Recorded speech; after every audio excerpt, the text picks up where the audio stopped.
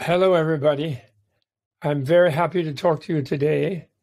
I have been waiting since the Chinese Communist Party attack a video and public anti-Dalai Lama public relation campaign uh, stormed uh, the world of social media internationally, and they, they operate in 30 countries or something.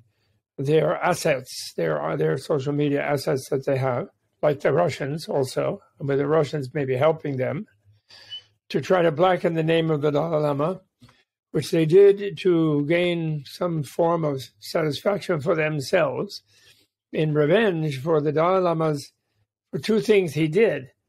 One, he did a stealth trip to Mongolia, stealth trip to Mongolia a year or two ago, I think before COVID was really full blast, and uh, found the reincarnation of the Bogd Lama, namely the Dalai, the, the Dalai Lama of Tibet, the traditional Dalai Lama of Tibet. The previous one had lived to quite a ripe old age, but mostly lived in India in exile because of the communist government in Mongolia, of course, for the last 70, 80 years until the 80s and 90s. And uh, then he went back a little bit to Mongolia. Then he did die, and he's seven year old boy now. And that anyway infuriated them them at the time, as any Dalai Lama watchers will remember.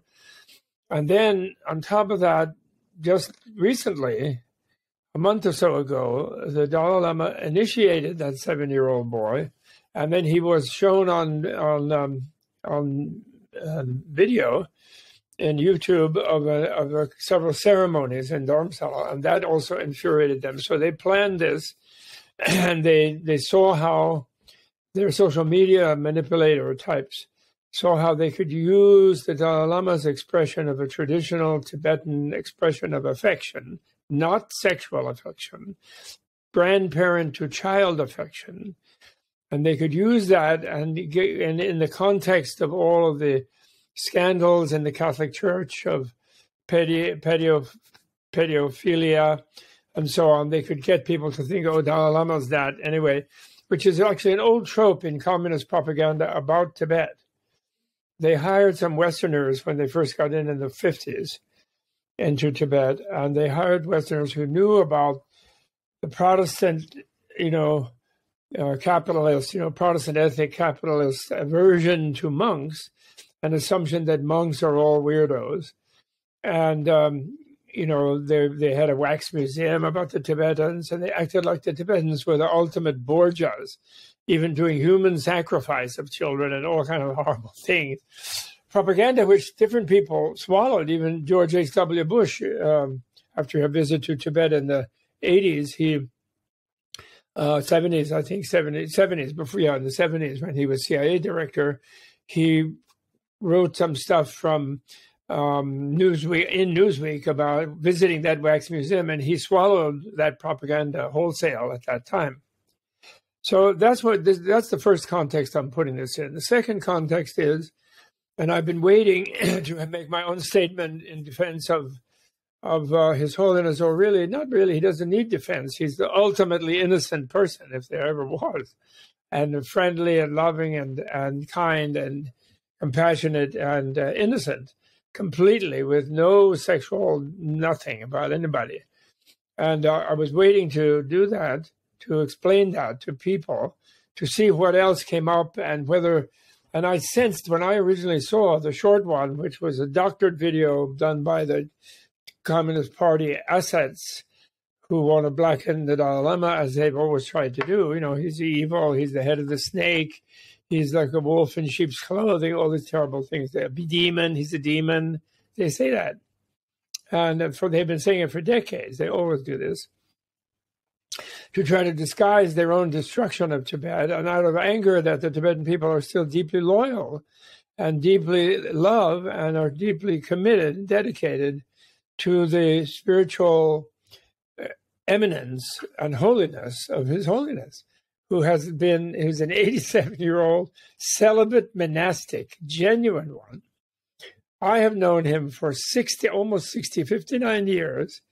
And, you know, I was a monk even in his order. I was ordained by him, never laid a hand on me, never did anything. And no, nor did any other Tibetan monk ever do anything to me of any kind of that kind of thing, you know, suspicion that they're all sex starved weirdos. They never did any such thing.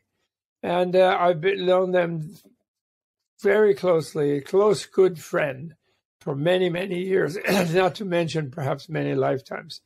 And they're fine. And he is the most innocent person of all, actually showing his affection for that little kid who seemed to need affection. He asked himself, I need a hug, I need a hug, you know. And his mom was right there and she was all into it with the kid. And then afterwards, they were really happy. And afterwards, their mom and the kid said how wonderful it had been, their meeting with His Holiness, how delighted. And they broke a coconut.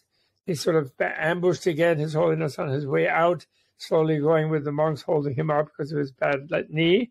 And they did a coconut breaking offering with some kind of Indian ritual. That is, I'm sure what. And um, so the whole thing is preposterous, really, and ridiculous. Now, on the on the announcement of this video, uh, there is a link to Jigme La, wonderful young Tibetan man, who gives a very thorough analysis of this in all dimensions, extremely excellent, and also plays the full video showing all the interactions, not just sort of taking out a little piece and trying to make it look bad, and then promoting it with negative PR as, heavily as they can in 20, 30 languages, which is what the PRC did. And uh, so I, I, want you all to see that if you're serious about wanting to understand what this is all really about. And, um, and so please do. And then there's another um, uh, text thing that another Tibetan wrote, that I'm going to put in there about the, the expression "nge nge jela sa," you know, in other words, eat, it's literally actually eat my tongue. and that's Tibetan's uh, grandparent will do that to a grandchild who to whom they've already given some candy. They've already had them kiss their grandpa or grandma, either one. And then sort of their kind of pockets are emptied out. And they say to the kid, Well, what, do you want to eat my tongue? and they go like that because Tibetans always do stick out the tongue. You know, the Tibetan to do that, when they do that, if I do that to you online, I go, uh, I said, I'm not just doing a yoga gesture, although that is a yoga gesture even in India, to lengthen the tongue, you know, but, uh, uh, and relax the tongue muscle by stretching it, you know, like it's a yoga thing, uh, position for the face. But the Tibetans do that because that shows that you're completely vulnerable and open to the other person and you respect them totally, and you're sort of whatever they say or even whatever they breathe, you are ready to inhale it, you know? So you, uh, you do like that.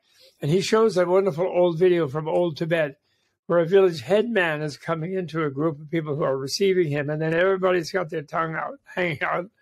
And that's a little different from the grandparent thing but it's a very sort of typical Tibetan sort of athletic form of physically showing reverence, affection, respect, and so on, and has nothing sexual about it whatsoever.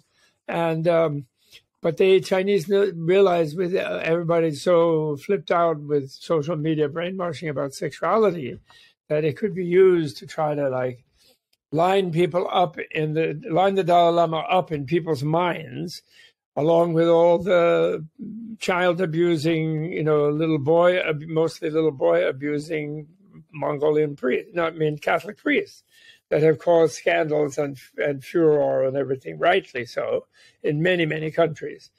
And um, so, I mean, I'm not blaming them, but but uh, so the difficulties of their training and the whole situation there, and, uh, and that's another story.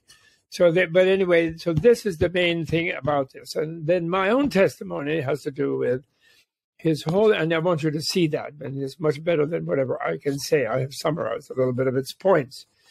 But in my case, I have known His Holiness since 1964. I was a young person myself. I was whatever, you know, His Holiness or any other Tibetan monk that I hung out with for many years as a monk first, that I reverted myself to lay status simply because there was no support in America, really, but for monks. And um, my wife is very determined that I always say it like that. She doesn't want to be seen as having lured me away from my celibacy, which I maintained for three or four years, five, almost five years in my 20s.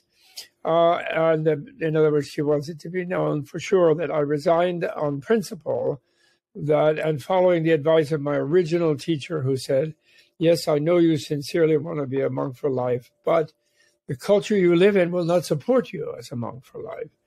Instead, you be a regular lay person, you go to a university, be a professor, and et cetera, et cetera. And that's what I did. But I've known him closely and all different Tibetans, and the ones who are celibate are really celibate. They have really celibated their, uh, sublimated their energy, and they are really, they can be friendly, loving, and energized they're not anybody's fantasy of someone who's celibate as being somehow deprived because they have, you know, their sort of deep subliminal affectional energies are manifested in their speech and their teaching and their artistic work and their and their general cheerfulness in life and doesn't require the sexual outlet. And and this again in freudian psychology is practically incomprehensible to the westerners who think that anybody who's not somehow active in that way must be repressed and messed up. And in fact, they're not. They are sublimating the energy and they are not in any way sexual active or aggressive or sneakily. I mean, in general, you know, obviously there will be bad eggs here and there, maybe in the in the in the whole millions of Tibetans, but uh, but uh, definitely not His Holiness. His in fact, His Holiness in the last 70 years, when they've been in exile, his own purity and his own strictness, actually, about everything, has, has, has inspired the Tibetan people in exile, where they have hundreds of thousands. They will say 800,000, the media says, but it may be 150 by now, in India, Nepal, and all around the world. And out of them, 15, 20% of the, both males and females are celibate monastics, the equivalent of monks and nuns, mendicants, you know, and they are mostly completely pure. Again, there may be some individual violators of that, but if discovered, they will be kicked out of the monastery. And that's important for them because the place for the real heavy duty spiritual education, the meditation, education, visualization practices that they do is being celibate and not bringing sexuality or family values and you know becoming a mendicant monk male or female monk or nun in the buddhist order is i have le- i leave the home for the state of homelessness. I leave the family for the for adopting the whole universe as my family.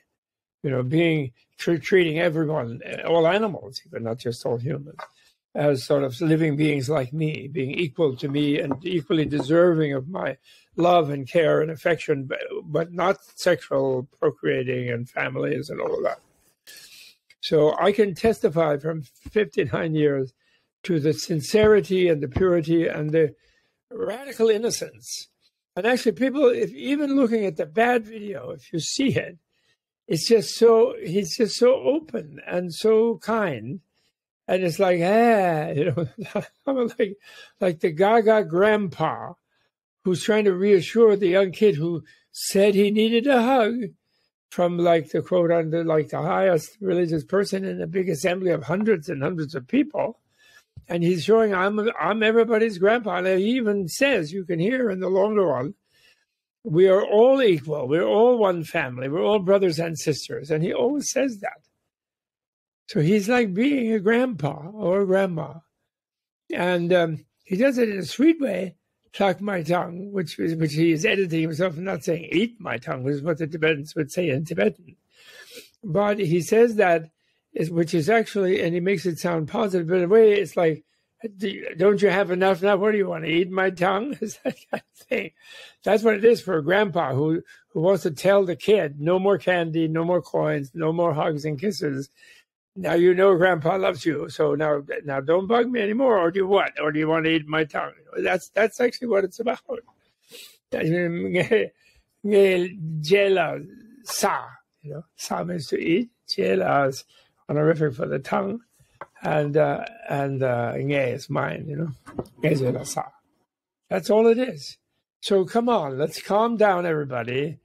Do not project that. Those people who are communists and hate religion or who are some kind of secularists that think religions have caused all the murders and all the disasters in history, you can revel in this uh, outrage routine that people are, social media are pumping up, you know, which are all their bots, the Russian bots, the Chinese bots. They, they even selling it to QAnon people, you know, to anything to go against kindness, peacefulness, you know, optimism, hope, you know, restoring life, you know, giving back the future to Greta Thunberg and this young kid, this young Indian kid, and other young people, and showing that an older generation genuinely cares for you and wants the planet not to be wrecked so that they can make money, which is what too much of the adults are doing on this planet. Why the, the younger generations feel anxious.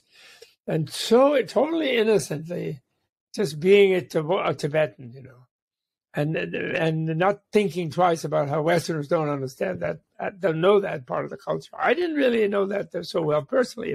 After 60 years of knowing them, I didn't really know the weight or the the, the prevalence, widespread thing of that expression. What do you want to eat my tongue? I didn't really realize it until this incident.